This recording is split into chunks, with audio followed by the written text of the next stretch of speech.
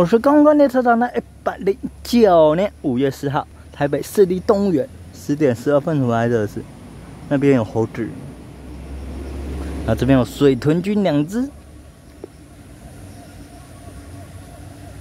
你看到超可爱的水豚君了。我下面跟班长你们都多点我们频道以及关后面，真的是超可爱的。